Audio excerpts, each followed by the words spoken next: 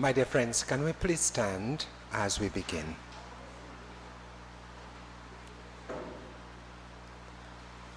My friends, blessed be God. He is the Father of our Lord Jesus Christ, and He is a gentle Father. He is a God of all consolation. It is He who comforts all of us in our sorrow, so that we may offer others in their sorrow the consolation we've received from God ourselves. Our brother George, like all of us, was baptized with Christ in waters of baptism. It is our prayer and our hope that he will now share the vision and the glory of Christ's resurrection. We have our entrance song, How Great Thou Art.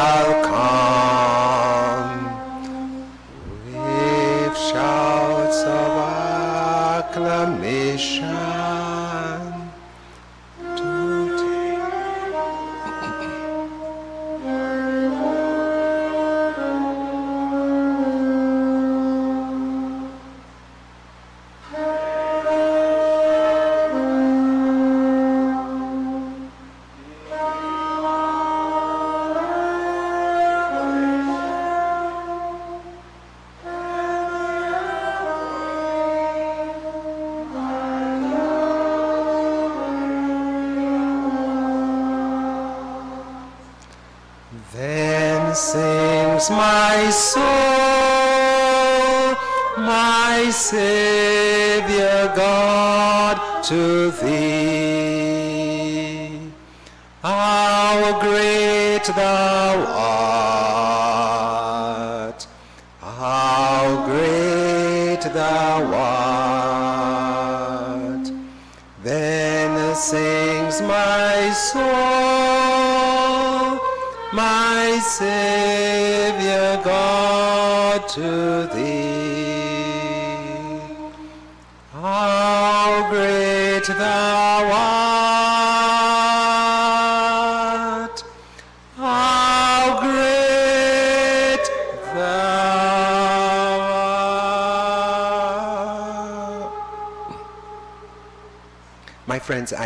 to please sit as we listen to the tributes.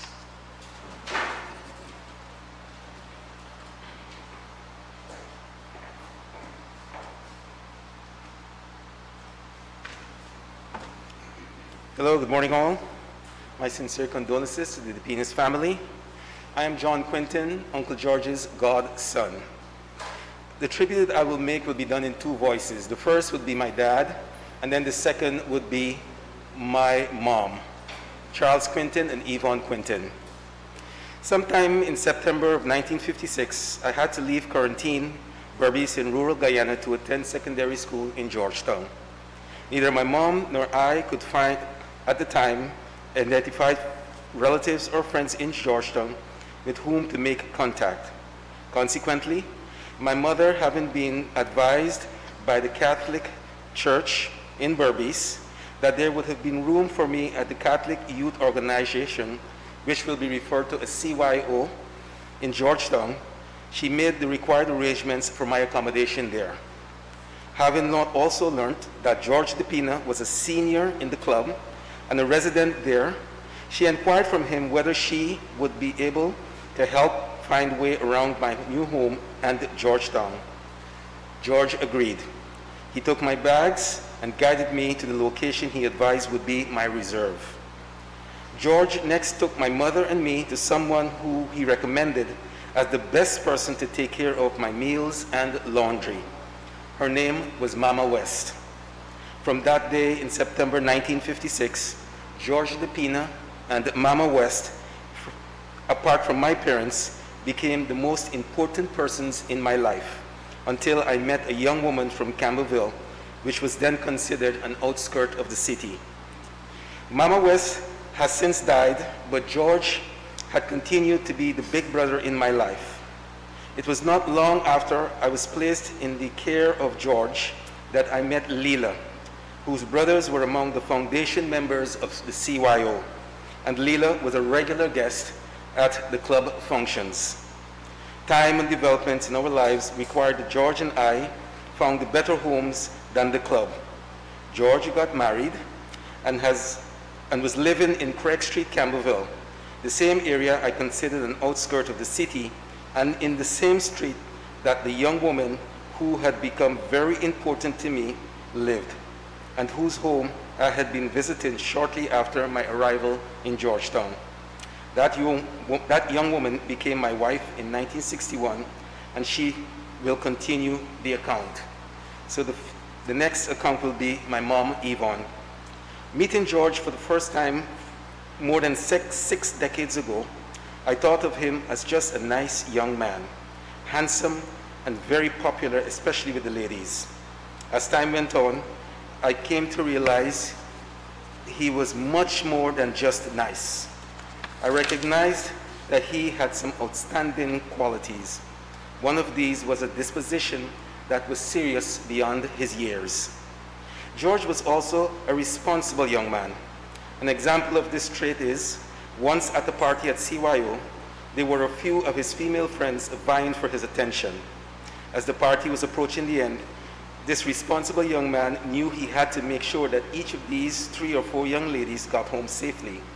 After arranging with then number one, he got compliant friends to take the others home while he got violently sick and had to retire upstairs. He got well immediately after the air had settled and came down to take the number one left behind. George was also kind and generous. One, on one occasion, after spending some time with Leela and his family, In Trinidad, George took me to the airport. On our way, he asked if I had paid the airport tax. I said yes, but made no attempt to hand over the information. George left and came back a short while after, handing me my passport and boarding pass, saying, You're good to go. I said thanks, hugged and kissed him, and we said goodbye. It was not until I was well on my way back to Guyana that it occurred to me that I did not hand over the payment for the airport tax to my kind friend. I was both embarrassed and touched by George's kind and thoughtful gesture. George was also funny and had an acute sense of humor. Charles and I enjoyed being in this couple's company. In September, 60 years ago, their marriage preceded ours by three months. Our two sets of children attended the same school. They were like siblings and even now are close. Our oldest and youngest are godchildren of the Depinas. One of our more pleasant and memorable recollections of George is his pleasant surprise when we unexpectedly turned up at his 80th birthday five years ago. Sadly, it turned out to be our very last, albeit memorable and pleasant visit with George. Ken, Andre, Chavain. Your dad has been called to higher service, but we know the memories will live on. Be sad, but try to be happy when you think of him. Leela, our hearts go out to you. We, as Catholics, believe in the resurrection of the dead and the light of the world to come. Please believe you will meet with your George again someplace. May God bless you all, and may George's soul rest in peace. Thank you.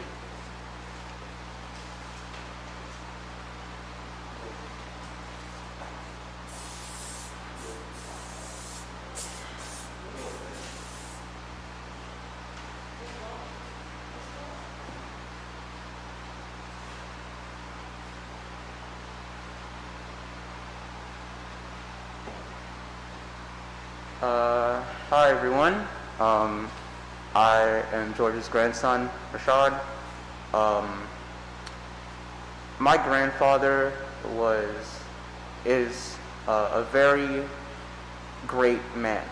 Um, all I can ever remember from as young as I can remember is hearing the high praises everyone spoke of my grandfather in uh, the high praises people continue to speak of my grandfather in. And I truly believe that to be a testament of his character. I believe one of the most important concepts within the human experience is legacy.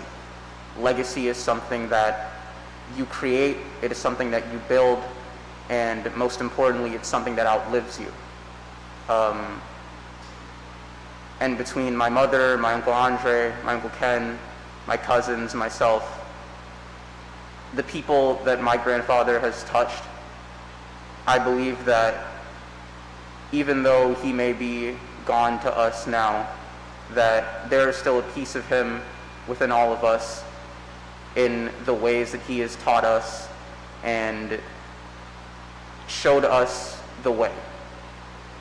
Um, there are going to be a lot of things that I miss about Grandpa. Um, he always had something to say about my hair um, between the mohawks and the fades. And I recently got both of my ears pierced and them braided. And I genuinely wish I could hear how he'd react to that. Um, but I think that even with him gone, there's still a path to follow. And I think that for what anyone might aspire to be, I think that Grandpa set a pretty good path for anyone to walk along.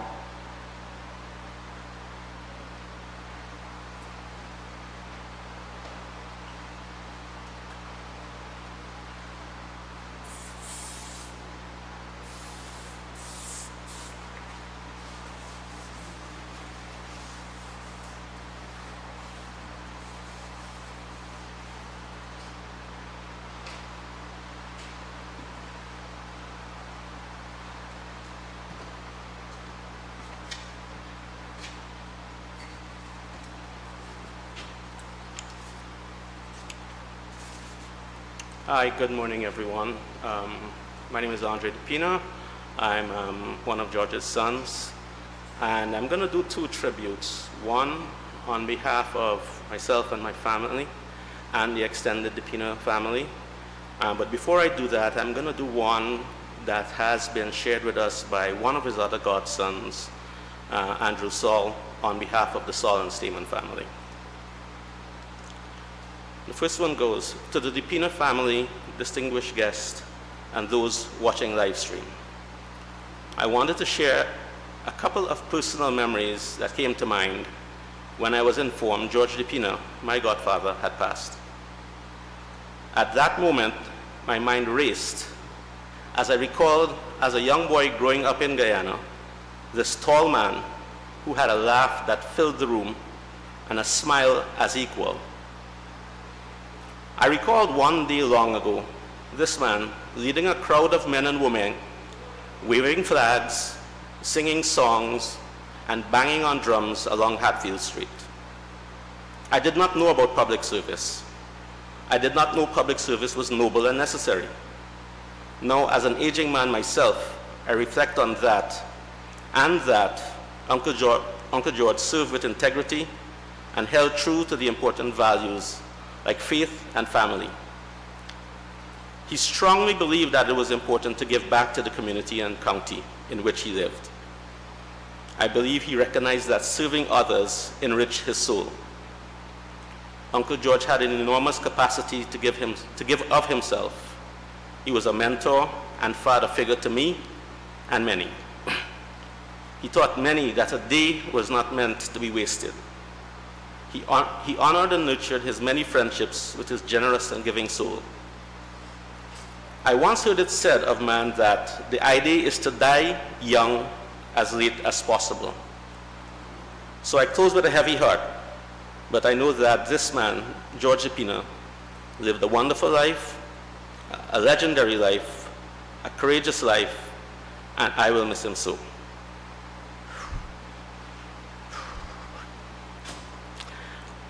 On behalf of the Stamen and Saul family, Godspeed.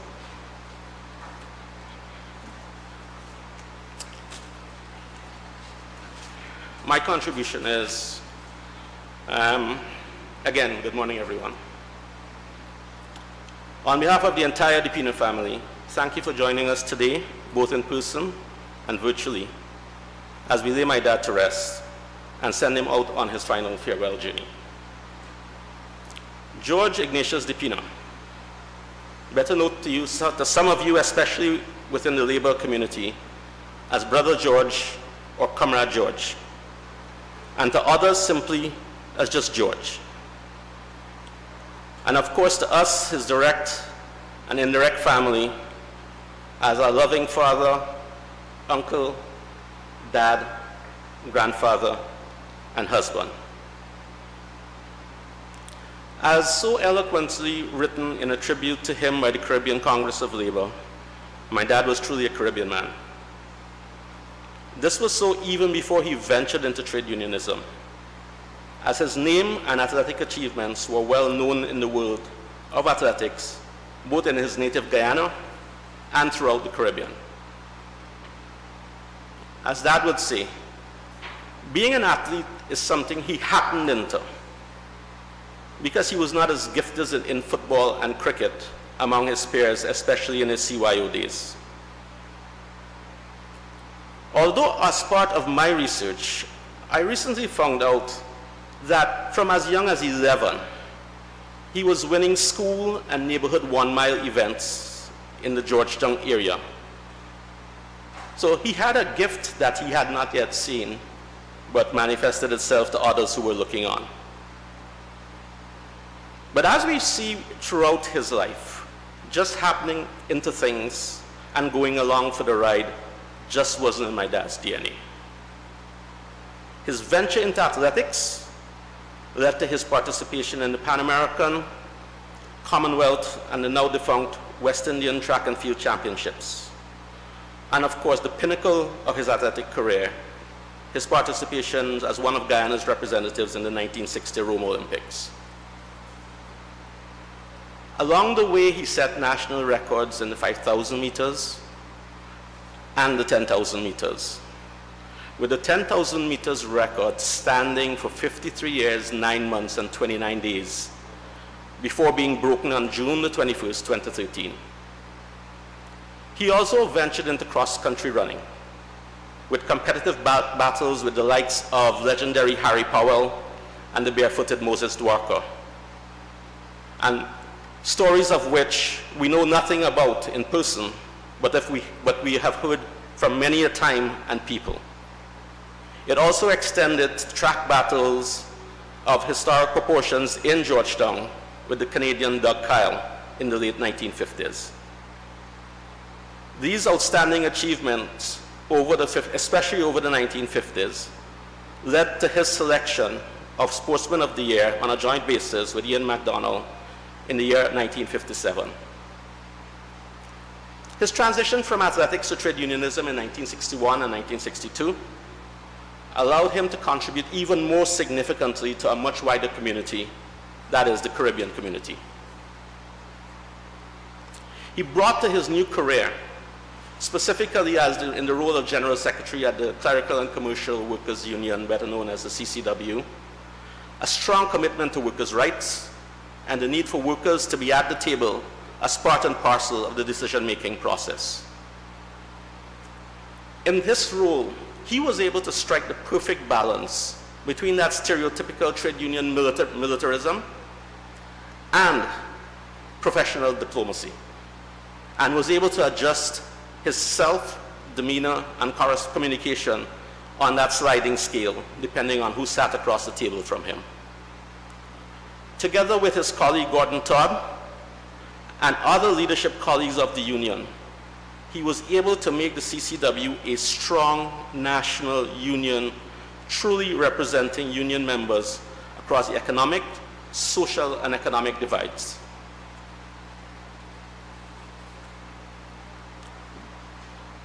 On reflection, we can think of his time spent at the CCW as really his learning period and his apprenticeship for the greater contribution he was to make to the Caribbean region in his role at the International Labour Organization, enhancing workers' education and regional trade union advancement and unity for 22 years. Even after retirement, he continued to provide leadership and guidance to the labor community as the General Secretary of the Caribbean Congress of Labor and in various advisory capacities to labor leaders throughout the Caribbean region.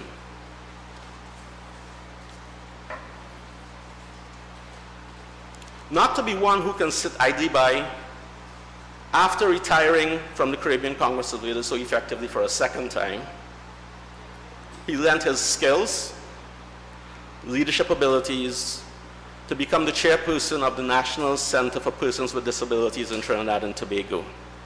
And as if that was not enough, he then became the street representative for his Neighborhood Residents Association and trusted advisor of many. With all of those accomplishments, you would think that he would have achieved as full a life as possible. But that didn't make his life full.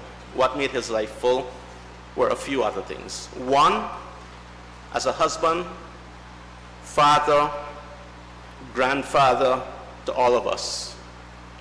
His love, his dedication, his mission in life to make our lives a whole lot better than his was, was paramount in his mind. But he didn't limit it just to us. He extended that care and commitment to anyone he ran into. It is very emotionally touching. You know, from time to time, with his passing, the stories that we've heard, the things that he has done to help people, things that we don't, we never knew about, um, tells you the kind of person that he is. On a personal level, I've run into I've told this story to those who are close to me. I run into a pharmacist um, living out in Canada who told me the only reason he's a pharmacist today because during my dad's tenure at the CCW, he led the establishment of a scholarship program so that members of the union's children had the opportunity to further their education. And this young man that I met was the first recipient. Stories like that abound. You know, some, some of our friends who talk about his, my dad's representation of them in, you know, union management disputes are far and many. As an individual, Dad, you lived a great life. We will certainly miss you. We love you endlessly, and no amount of words could put that into place. But at the end of the day, you are on to a bigger and better athletic track, labor organization, and you're forming part and parcel of that welcoming committee for us as we all have to make this journey transitioning from life on earth to life beyond. In closing, as we say our final farewell to you, we know you have, as Rochard said, what you have done on earth is going to live beyond your life because you have left a legacy. It's a legacy that we honestly can't live up to, but we will cherish and maintain as much as we can. So in going, in sending you off, we don't want to look at this as a sad moment. It is sad for us, but this really is a celebration of your life, the contribution you have made to it, and the fact that the world has been better for the time you have spent here with us. So rest in peace, rise in power, and because the world needs more men like you, I'm going to borrow from one of the, the, the tributes paid online from um, Andre Walker. Because the world needs more men like you, return if possible. And in closing, let's call that George.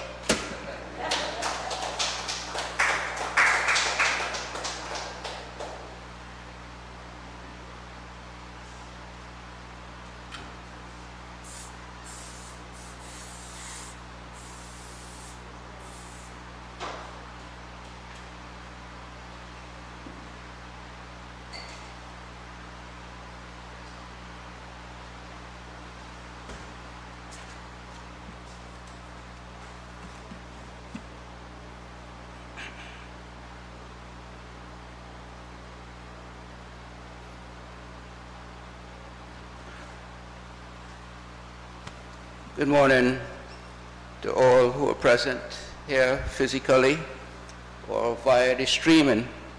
I'm Kenneth and the eldest child of the De Peana clan. Child sounds like a funny word, you know, when you see a gray-headed man and a gray-bearded man. you, will you will actually see dad sporting a beard just like me.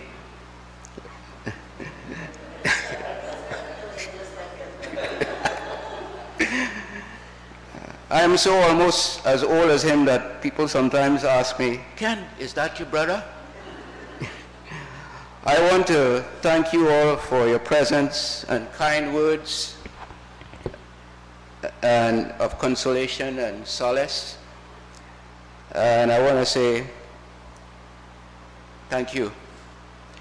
45 years ago, on a flight from Guyana to Trinidad, I cried all the way from the beginning and to the end of the journey because I was leaving behind a life that I'd come to know and people whom I loved.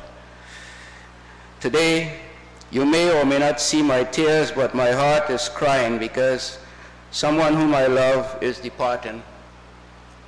That is my dad, George Ignatius De Peana. Today will be the last time I'm seeing him. There will be no words to share, no more ideas to talk about, no more suggestions to receive, no more guidance, no more embrace, no more presence. George De Peana will be gone, but not from my heart and my mind. All I have uh, will be continuing memories of his expression of love for me and the rest of the family. I'm here today because of my dad, and now I'm here, now that I'm here, he's not here. But that is how life goes, literally as well as figuratively. One moment you're here, the next moment you're gone.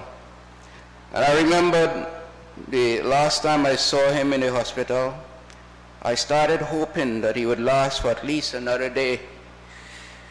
But he didn't even make it, make it through the night. That night was the 25th of July. And I was finding it hard to sleep. I eventually went to sleep thinking about him and thinking I will have to tell those doctors something the next morning, even though they were not the easiest people to reach and to convince.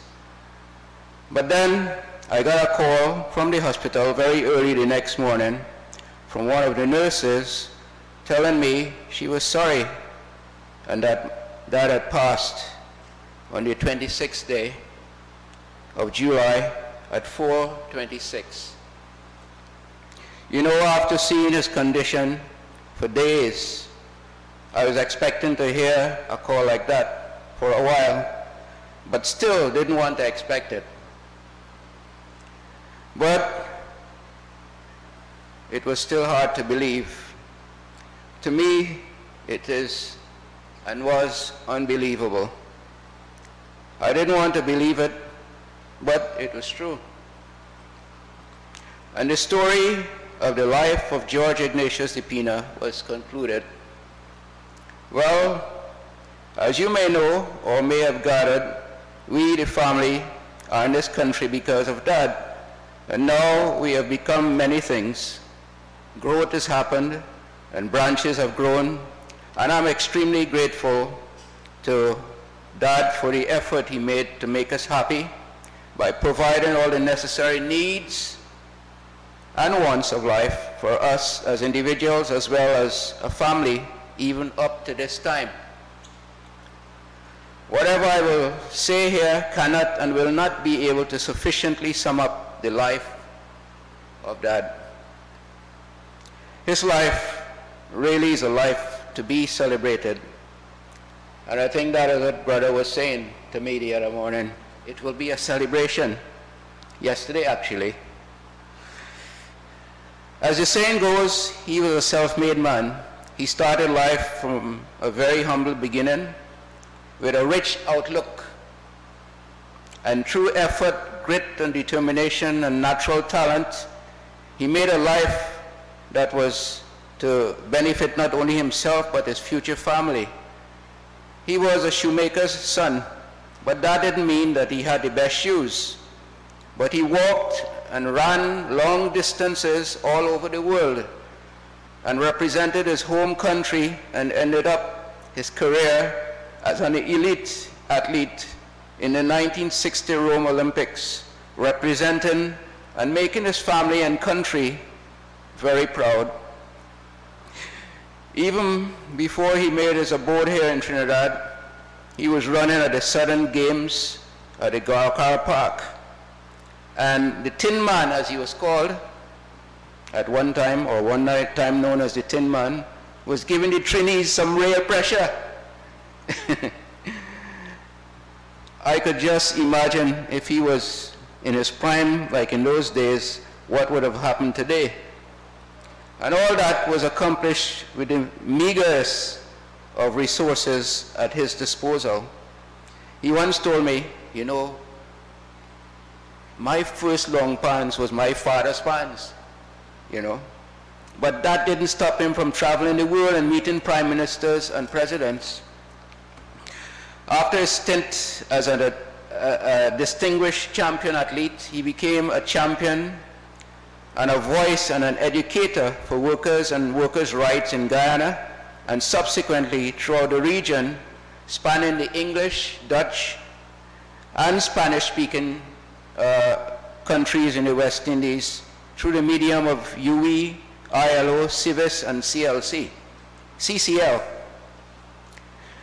Starting from his athletic days on through his ILO CVs and CL, CCL days, we used to say, this man really living in a suitcase, you know. He would arrive home one day and be gone again tomorrow. And that is how he used to, how it used to be, how he used to be operating. He gave his life and was dedicated to anything he decided to put his hand to. The Bible says in Ecclesiastes 9:10, "Whatever your hand finds to do, do it with your might, for there is no work, nor device, nor knowledge, nor wisdom in Sheol where you go." Sheol refers to the grave. And I think this is what Dad did in, his, in this regard, especially when it came to his work and may I add, when it came to his play. And this catapulted him into high places among other places. The family is based on two towers, one being dad and the other is mom. And she is still here as a supporting tower, as she has always been throughout the years. Absence has always been a part of our lives. When dad was working hard in Jamaica, she was there. When he was in Suriname, she was there. When he was in Denmark and England and wherever, she was there working hard also, manning the ship for 60 years. She has not given up and she is still here. Thank you, Mom. This tribute is for him and at the same time for her. It has always been teamwork and the family wouldn't have worked without the support of each other. The saying is that, we know it so well, behind every good man is a good woman. And throughout the years, even though it seemed that one has fallen, the branch will not break. It does not know how to break. We will continue to blossom and to bear fruit. Personally, I've seen Dad languishing in that hospital and it was a hard sight to behold day after day. And on top of that, to send reports to Andre and Chauvin. But it says in Isaiah 57, the righteous perishes, and no man lays it to heart, and merciful men are taken away, none considering that the righteous is taken away from the evil to come. He enters into his rest. The world is changing fast, and we are living in a virtual prison, an evil world, and we wonder what is next beyond the mask. For Dad, it was never a dull moment. For Dad, it could have been better, but it could have been worse. We can take his advice as he used to say, why worry? You know, or as he would say, oh la la, oh la la. These are some of, his, of the expressions that he would voice. He used to say to me, boy, take care of your eyes, go and get it checked. You can't buy them in the market, all right? So, but these saints will stay with us, you know. We will remember them. But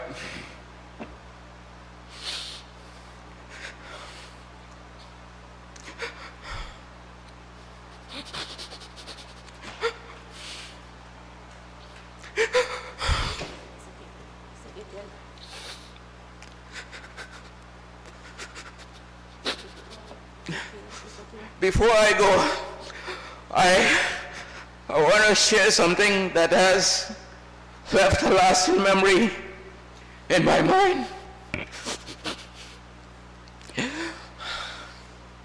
Which I found to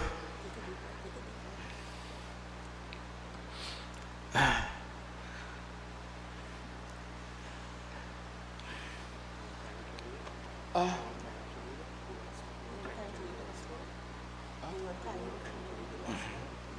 I'll make it. It has left a lasting memory in my mind.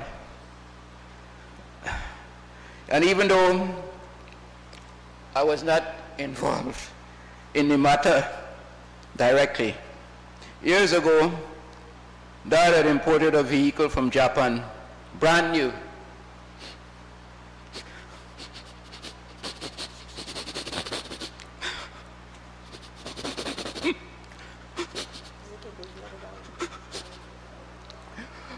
One of his colleagues from Europe was due to come into the country, and because he wasn't well, he asked Mr. Andre on his birthday to go and pick him up for him.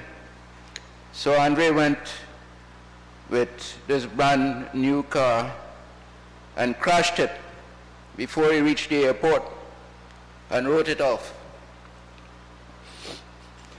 To cut a long story short, I had to go up with dad to pick up Andre, and Andre's foot was damaged, broken.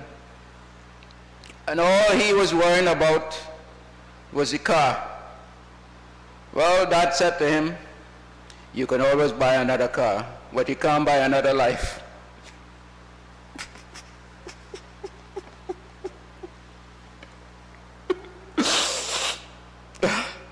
I was so impressed by that statement that it still lingers in my mind today. There are many more I can cite, but this is how I will end. I will always love my father. I will miss him. I will never die. So, this in a nutshell is George Ignatius De Peana. May Yahweh bless him. I just want to read a, a last scripture.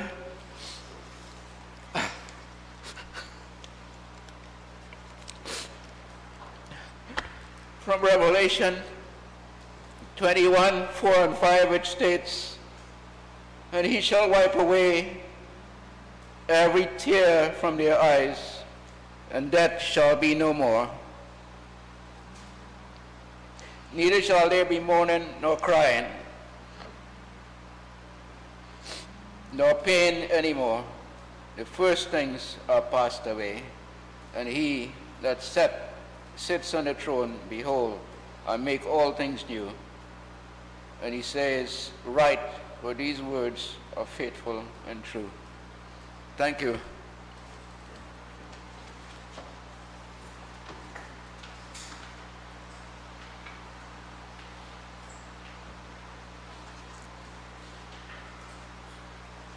I know we have a song, um, Eyes on the Sparrow, but, but, but just before this, let us, um, let us do something.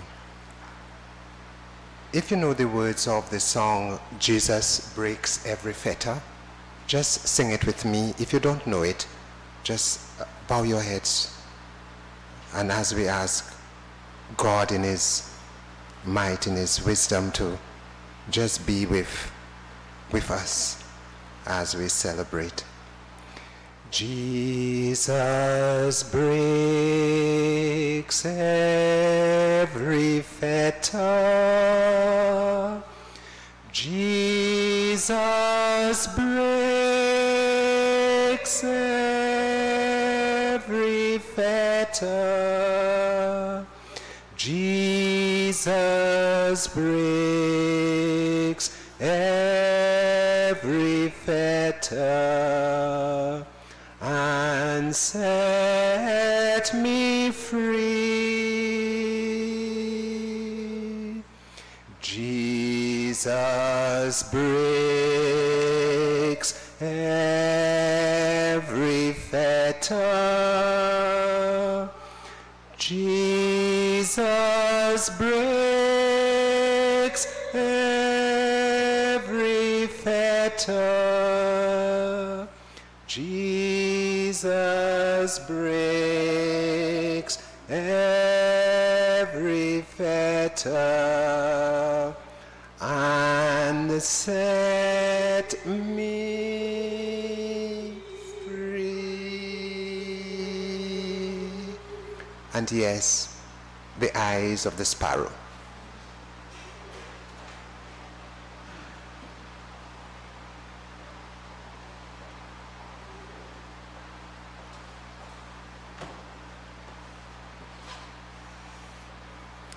Lila, Ken, Andre, Shemaine.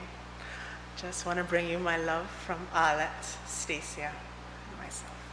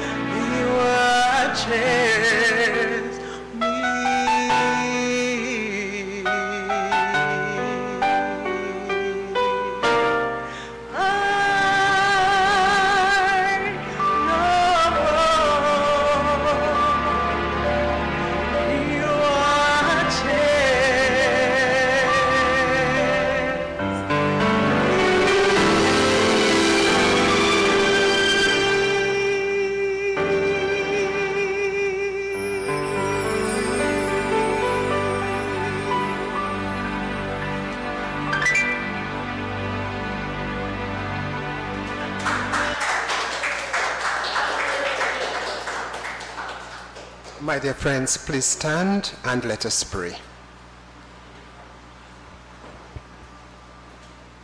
O God, in whom sinners find mercy and saints find joy, we pray to you today for our brother George, whose body we will honor with Christian burial, that he may be delivered from the bounds of death. Admit him now to the joyful company of your saints, and raise him up on the last day to rejoice in your presence forever. We ask this through our Lord Jesus Christ, your Son, who lives and reigns with you in unity with the Spirit, one God, forever and ever. Amen. Can we please sit as we listen to the readings? The first reading.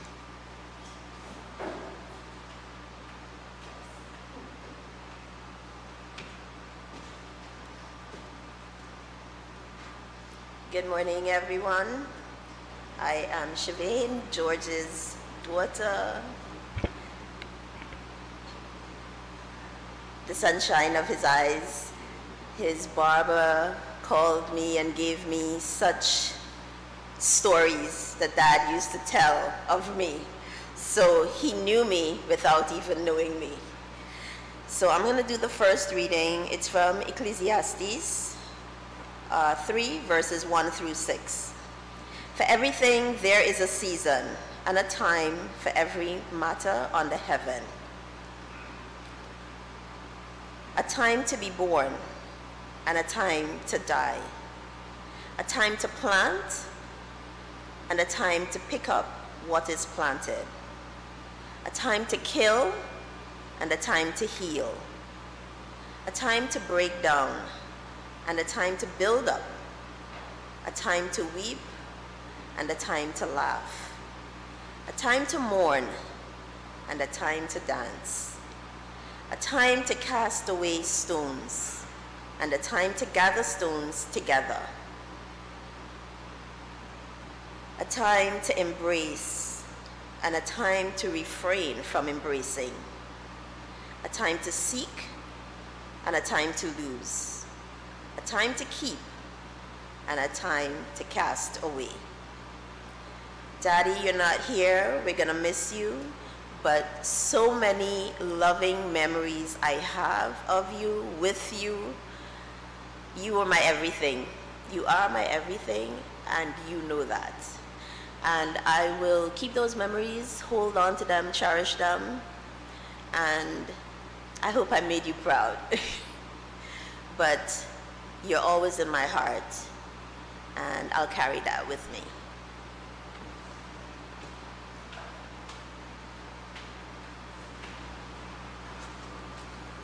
And as a response to the first reading, we sing Psalm 23. Again, it is the Crimond, but we'll just, I'll just change the melody a little so we could have some upbeat tempo. The Lord's my shepherd, I'll not want. He makes me down to lie. In pastures green he leadeth me, the quiet waters by. He lives, he lives,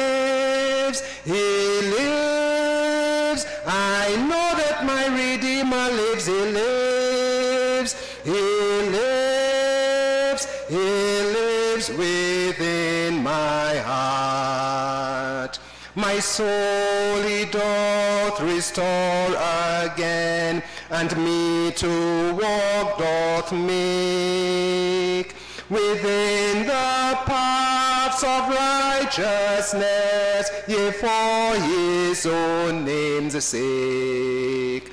He lives, he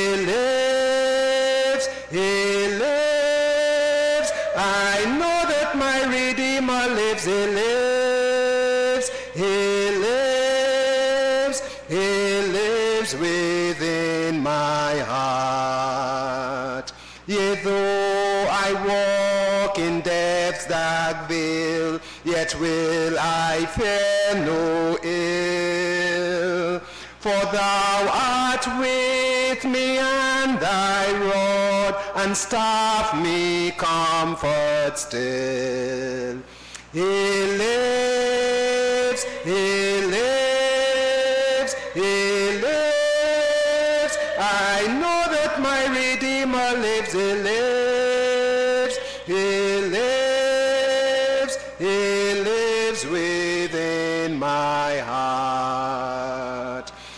table thou hast furnished in presence of my foes.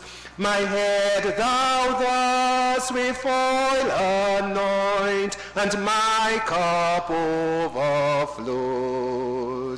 He lives,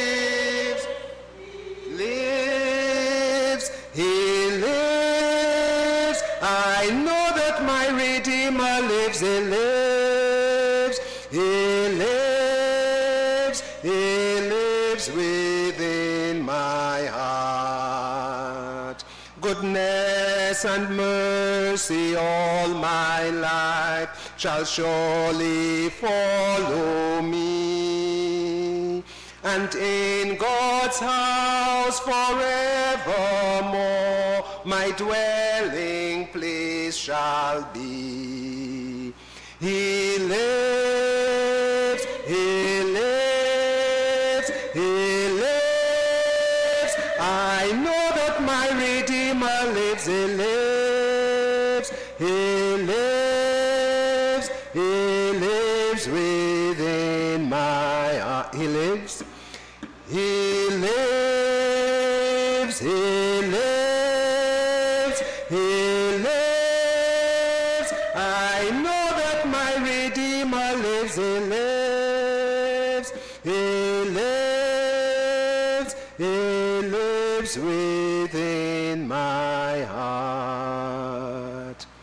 now listen to the second reading.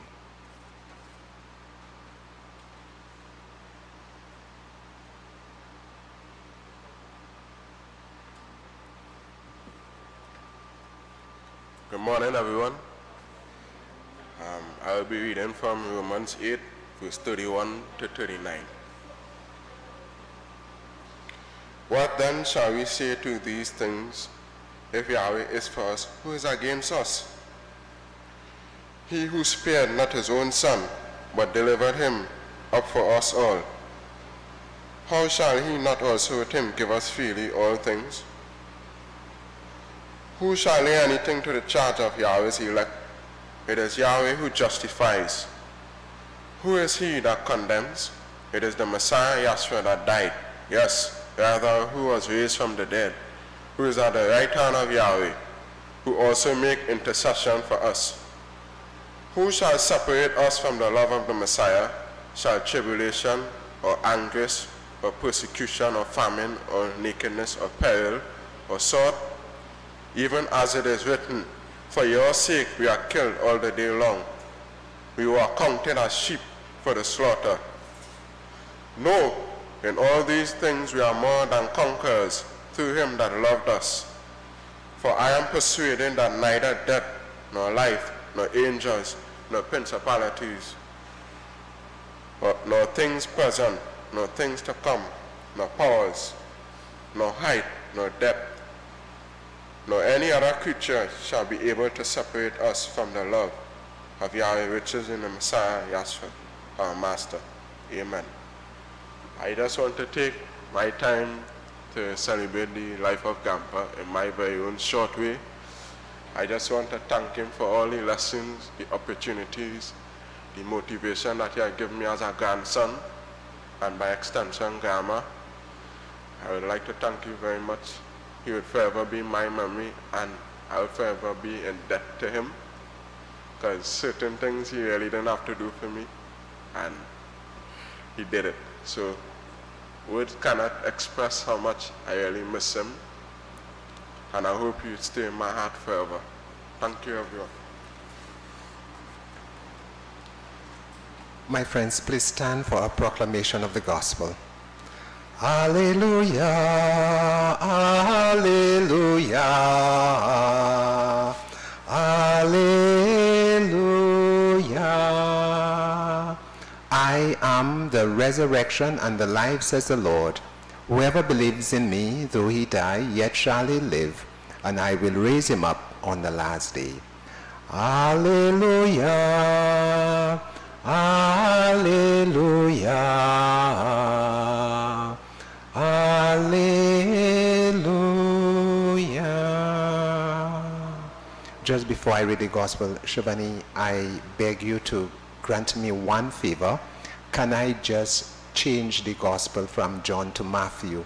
And I'll, you'll see why when I preach. A reading from the Holy Gospel according to St. Matthew. Glory be to you, O Lord. And I'll read to you from Matthew chapter 25, verses 31 through to 46. And I will use the Jerusalem Bible translation. Jesus said to his disciples, When the Son of Man comes in his glory, escorted by the angels, then he will take his seat on his throne of glory. He will gather the nations before him, and he will separate people, one from another, just as a shepherd separates sheep from goats. He will place the sheep on his right and the goats on his left. Then he will say to those on his right, Come, you whom my Father has blessed, take for your heritage the kingdom prepared for you since the foundation of the world. For I was hungry, and you gave me food. I was thirsty, and you gave me drink. I was a stranger, you made me welcome. Naked, you clothed me. Sick, you visited me. In prison, and you came to see me. Then they will say to him in reply, Lord, when did we see you hungry and feed you, or thirsty and give you drink? When did we see you a stranger and made you welcome, naked and clothed you, sick and visited you, in prison and came to see you? He will say to them in reply, I tell you most solemnly, insofar as you did this to one of the least brothers or sisters of mine, you, do, you did it to me. Then he will say to those on his left, Go away from me with your curse upon you to the fire prepared for the devil and his angels. For I was hungry, and you never gave me food. I was thirsty, and you never gave me drink. I was a stranger, you never made me welcome. Naked, you never clothed me. Sick and in prison, and you never visited me. It will be their turn to ask, Lord, when did we see you hungry or thirsty, a stranger or naked, sick or in prison, and did not come to your help? He will say to them in reply, I tell you most solemnly, insofar as you neglected to do this to one of the least brothers or sisters of mine, you neglected to do it to me. They will go off to eternal punishment, but the virtuous to eternal life. My friends, this is good news. It is a gospel of the Lord. Praise to you, Lord Jesus Christ. Please sit for a few minutes.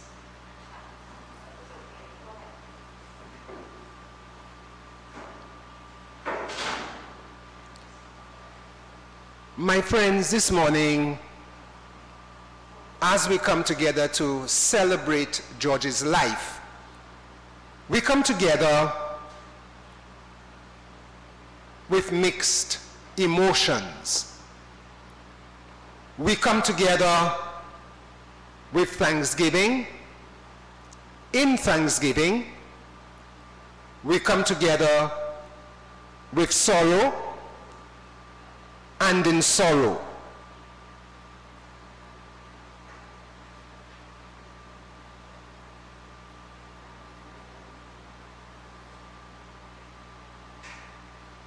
We come together with certainly more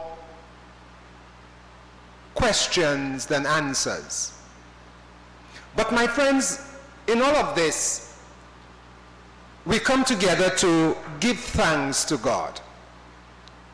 We come to give thanks for George's life. Let me from the onset say, and make a statement that I believe to be true. And the statement is this funeral services are not for the dead. The dead is dead and gone, and I say that with all sympathies. But funeral services are for the living. It is for you and for me that are left behind. Funeral services are moment in time, fleeting though those moments may be, that you and I, we have a chance to look at our lives again. We have a chance to examine our lives.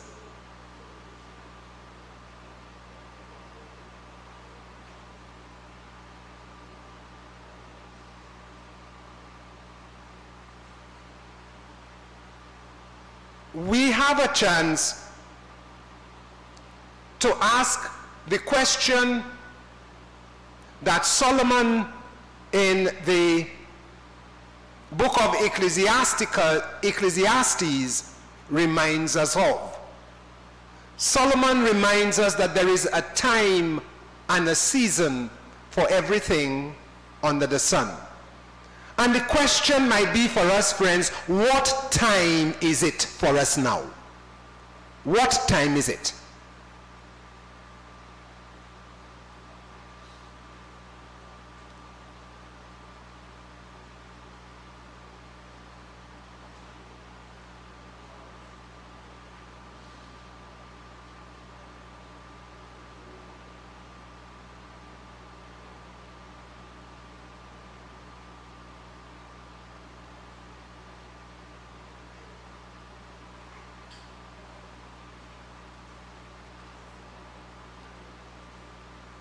There was a popular calypso by one of our calypsonians, and we only had to answer to the chorus when he asked, What is the time, Mr. Wolf? We, we would all say, Bacchanal time. But the time today is not Bacchanal time. The time today is a time where you and I as I said, ought to take stock of our lives. What in our lives we need to change? What in our lives we need to do better? Because the truth be told, our brother George is gone, and we have to examine our lives. We have to change our lives. And there comes the gospel reading. The gospel reading is from Matthew. And I say to people, there are two things that you could say. Either Jesus is one of the greatest teachers of, of all times, which I believe he is, or he is a teacher that is really foolish. Because he is going to give you an exam at the end of time and that exam will determine where you are or where you go, but it gives you all the questions. You just have to do it. What will determine where we end up in our lives? My friends, let me tell you a few things that will not determine that. It will not be, it will not be determined by what religion we belong to. Whether you are Catholic, Anglican, Presbyterian, name the religion, at the last moment, that will not matter. It will not matter when did you go to church either. But what will matter is what is in Matthew. When I was hungry, did you feed me? When I was thirsty, did you give me drink? When I was a stranger, did you make me welcome? When I was naked, did you clothe me? When I was sick and in prison, did you visited did you visited me? George did all of that in his life.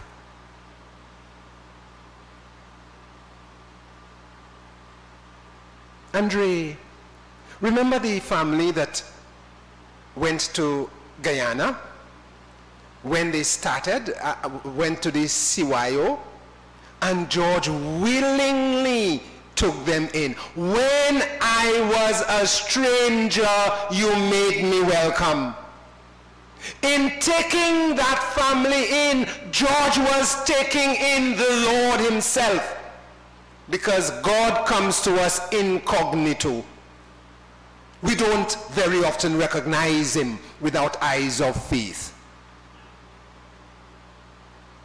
When I was hungry, did you feed me?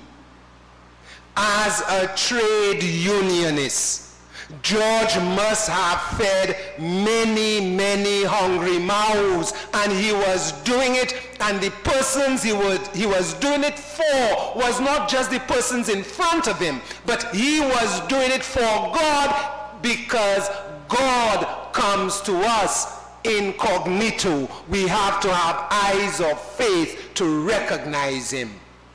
Can you imagine what it is that your, your, your bread line, your, is, your whole livelihood is on the line?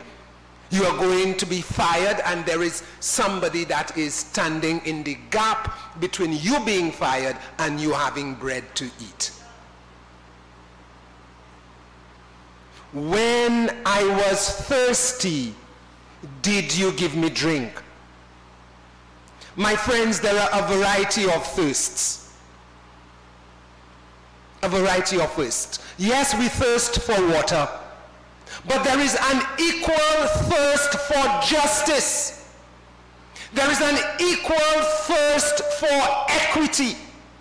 George, in his life, gave drink to those persons who thirst for justice. He did that in his life. And while George was doing that, may I remind you, he was quenching the thirst of God who thirsts so very often for justice. When I thirst, did you give me drink? When I was naked, did you clothe me? My friends, about two years ago, there was a terrible sin that came on social media. A lady was driving a Hilux somewhere in the vicinity of the um, Hasely Crawford Stadium, banged the um, high, the vehicle on the um, pavement, stripped herself naked, and walked down the road from um, Hasely Crawford going towards Power Gen. And you know what angered me? There were so many people, onlookers, seeing what happened, took off their, their smartphones, you see that smartphone? And click, click, click, taking pictures of the lady and sending it out. My friends, they made the lady more naked than she was naked. Can you imagine? When I was naked, did you clothe me? Nobody thought of taking something and clothing the woman, but rather all they could do is to send her naked picture all over the place. George, George clothed so many people that were naked, and not naked in the physical sense. My friends, this, this is what gets us to heaven. This is what determines where we go. And there are times I say to Christians of all denominations that Christians these days, you get me vexed. Even I, as a Christian, I get myself vexed at times. Because you know what? We talk the talk, we don't walk the walk. Too many times we Christians, we are judgmental of others. And somebody might be saying, George was not going to church and he was doing not doing this and he going and he going to hell. I, I often say they fast, you know, because nobody knows who's, who is going to heaven or who, or who is going to hell. But what we know, we have to do what God asks of us. And in doing it, we will get there. We will get to heaven if we do what God asks of us. When I was hungry, did you feed me? When I was thirsty, did you give me drink? When I was a stranger, did you make me welcome? When I was naked, did you clothe me? When I was sick and in prison, did you visit me? And if you do that, if we do that, we are going to hear God say to us, Come, you whom my Father has blessed, take for your heritage the kingdom prepared for you since the foundation of the world. And with that, I will call it Gregor because I say George is my brother.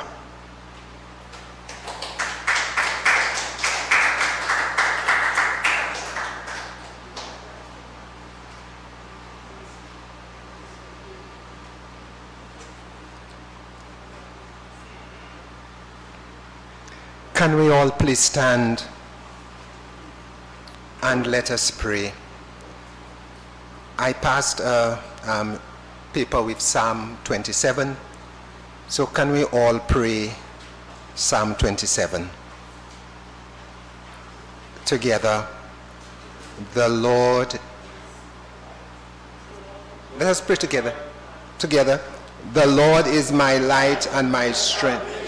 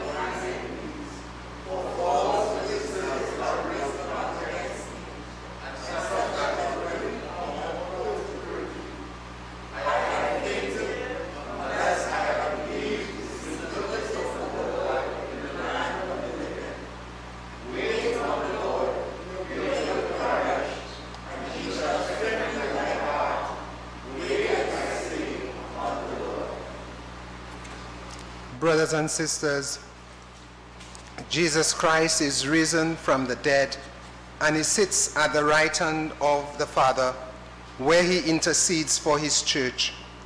Confident that God hears the voices of those who trust in the Lord Jesus, we join our prayers with his.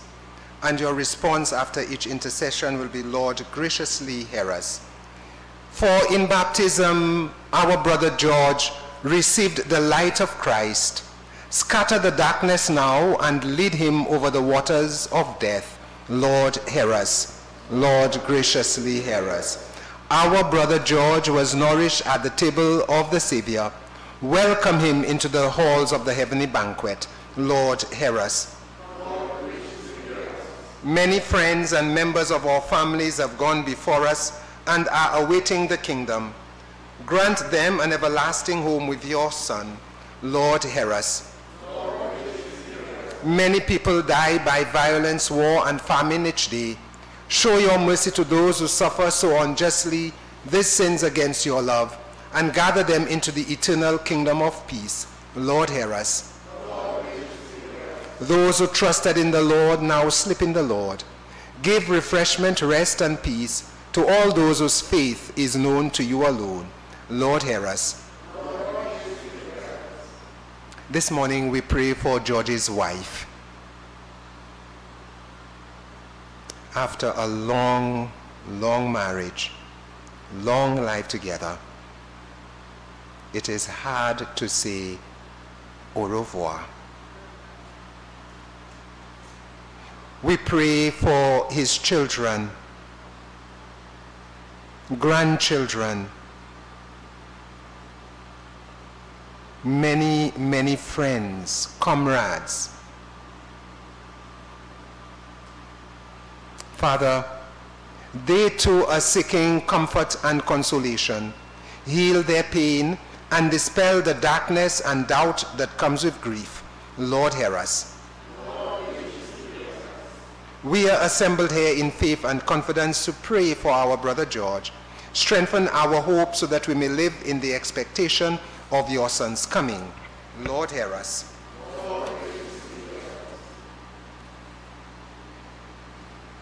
At the Savior's command and formed by divine teaching, we dare to say, Our Father, who art in heaven, hallowed be thy name. Thy kingdom come. Thy will be done on earth as it is in heaven. Give us this day our daily bread, and forgive us our trespasses, as we forgive those who trespass against us. And lead us not into temptation, but deliver us from evil. For thine is the kingdom, the power, and the glory, forever and ever. Amen. Let us pray. Lord God, giver of peace and healer of souls, hear the prayers of the Redeemer Jesus Christ and the voices of your people whose lives were purchased by the blood of the Lamb. Forgive the sins of all who sleep in Christ and grant them a place in your kingdom. We ask this through Christ our Lord. Amen. My friends, can we please sit? Dear friends, before we go our separate ways, may we take leave of our brother George. May our farewell express our affection for him. May it ease our sadness and strengthen our faith, our hope. For one day we will greet George again, when the love of Christ, which conquers all things, destroys even death itself. For it is into your hands, Father of all mercies, that we commend the soul of our brother George, in the sure and certain hope that together with all who have died with Christ, he will be raised up again on the last day. We give thanks for the blessings which you've bestowed upon George in this life. These, Lord, are signs to us of your goodness and of our fellowship with the saints in Christ. Merciful Lord, turn towards us and listen to our prayers. Open the gates of paradise to your servant George and help us to remain, to comfort one another with assurances of faith until, Lord, we all will meet with you and with our brother George forever. Very often I like to see musicians, and wh- whenever I see them, I put them to work. So the musician will play something for me while I bless the casket.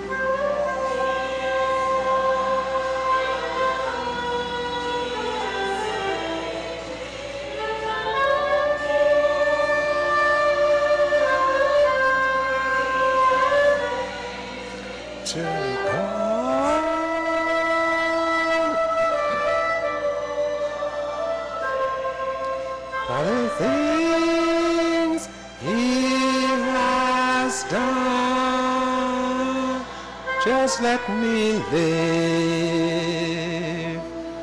my life. Let it be pleasing,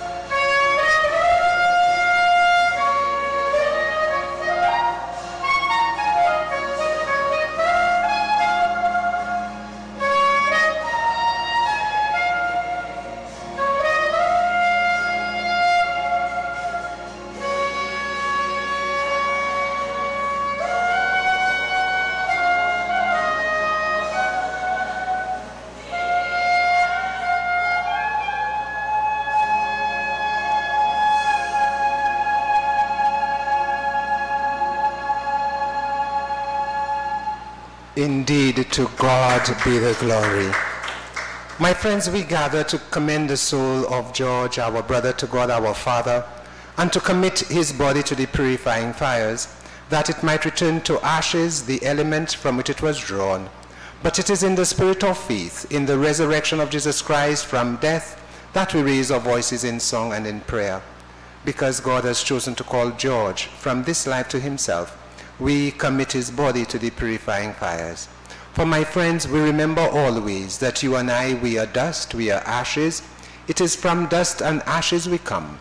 It is to dust and ashes shall we all one day return. Earth to earth, dust to dust, ashes to ashes.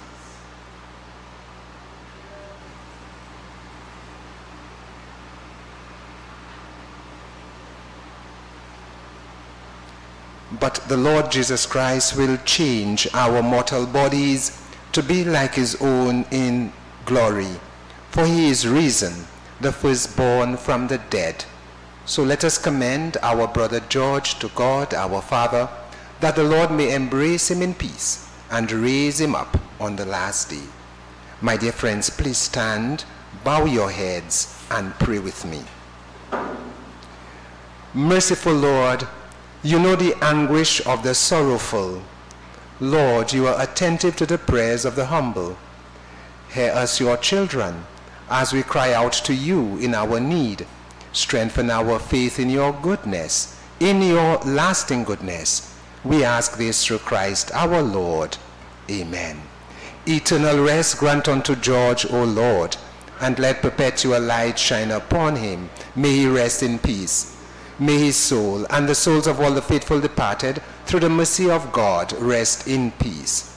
And my friends, may the peace of God, which is beyond all understanding, Keep our hearts and our minds in the knowledge and love of God and of his Son, our Lord Jesus Christ. Dear friends, may the Lord bless you, may the Lord keep you. May the Lord let his face shine upon you, and may he be gracious unto you. May the Lord lift his countenance upon you, and may he give you peace. And may Almighty God bless us, the Father, the Son, and the Holy Spirit. George, in paradisum deducant angeli in tu adventu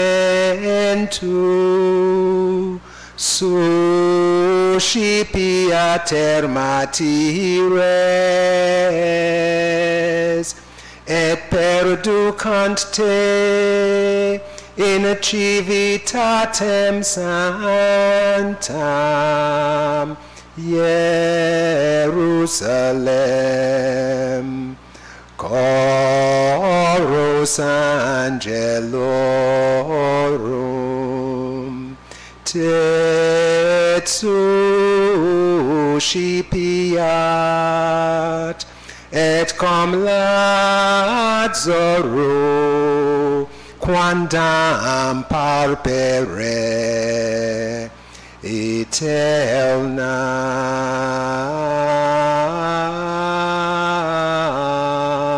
habeas requiem.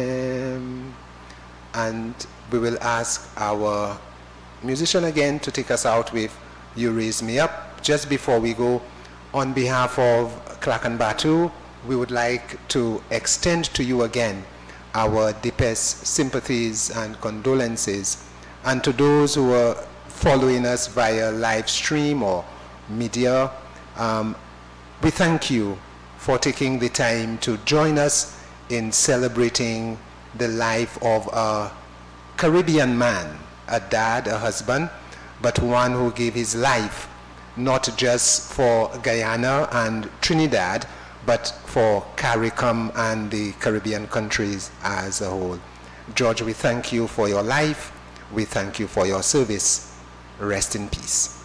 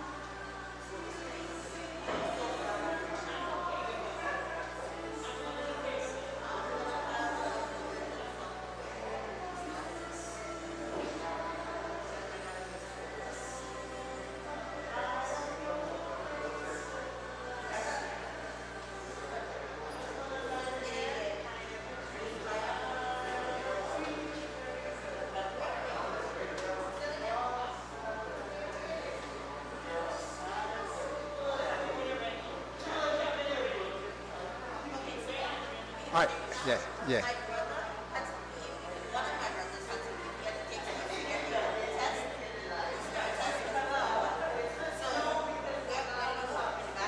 No, no, we'll, I'll, I'll say.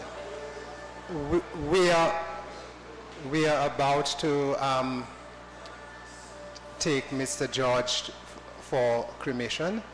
Um, I would probably ask the, the family to do something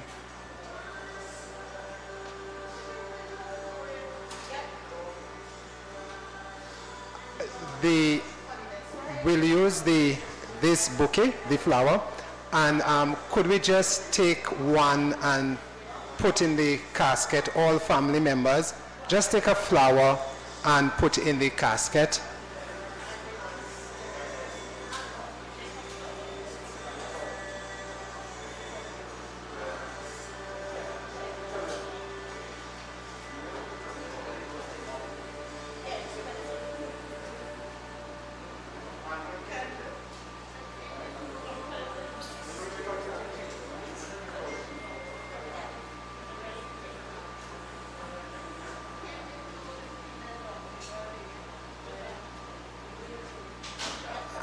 Again, as I said, we are not saying goodbye. We are saying au revoir until we meet again.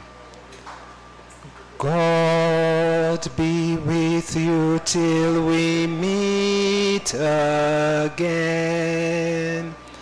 By his counsel, guide, protect you. Daily manna still provide you. God be with you till we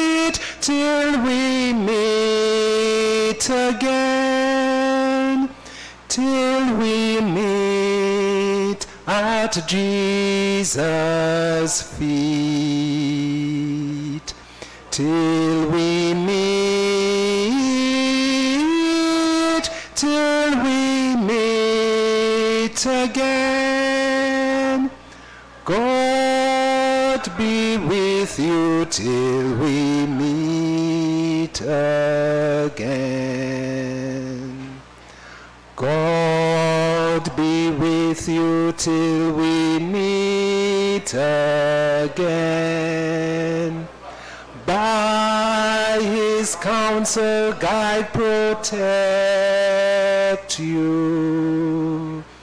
Daily manna still provide you. God be with you till we meet again. Till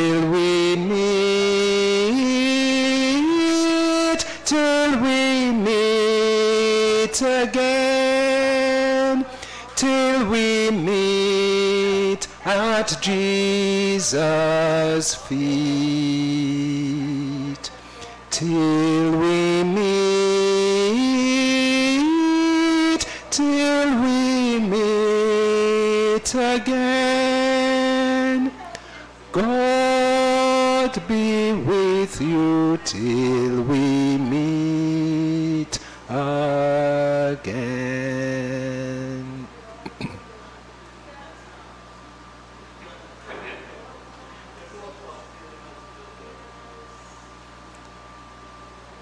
Sing the wondrous love of Jesus, sing his mercies and his grace.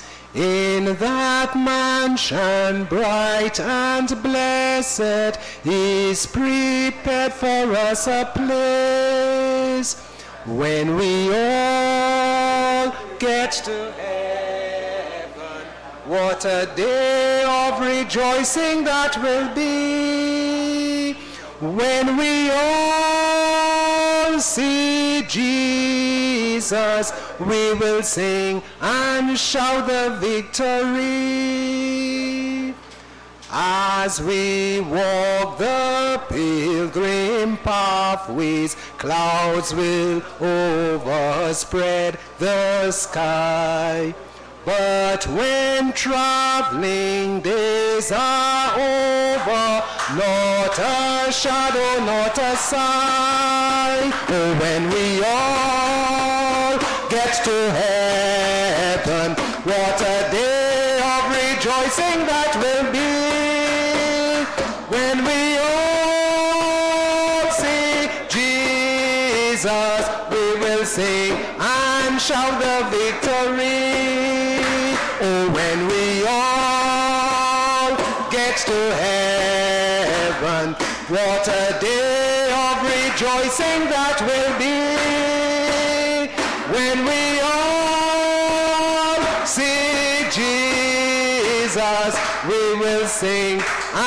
Shout the victory. Let us, let us go a little more local now because I'm very ecumenical. You know, I, I love the Baptist kind of song, it's nice. Move, Satan, move, let me pass. Move, Satan, move, let me pass. I am on my way, safe and sanctified. Move, Satan, me pass. Move, Satan, move, let me pass. Move, Satan, move, let me pass. I am on my way, safe and sanctified. Move, Satan.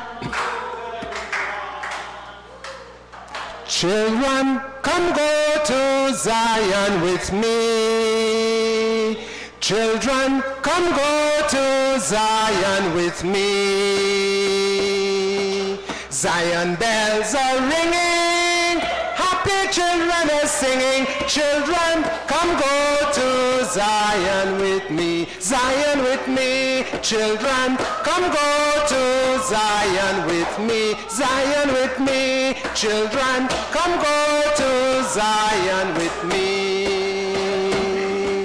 Zion bells are ringing, happy children are singing. Children, come go to Zion. Zion with me, children, come go to Zion with me. Zion with me, children, come go to Zion with me. Zion bells are ringing, happy children are singing. Children, come go to Zion with me. My friends, may the peace of God be with you. May the peace of God that passeth all understanding stay in your heart. And may you keep the faith because there is a time and season for everything. Winter comes, but oh, what a joyous time it is when spring begins. The flowers starts blooming, the birds start singing. That this might be your winter. I want you to trust that spring is coming. Thank you, thank you, and have a good afternoon.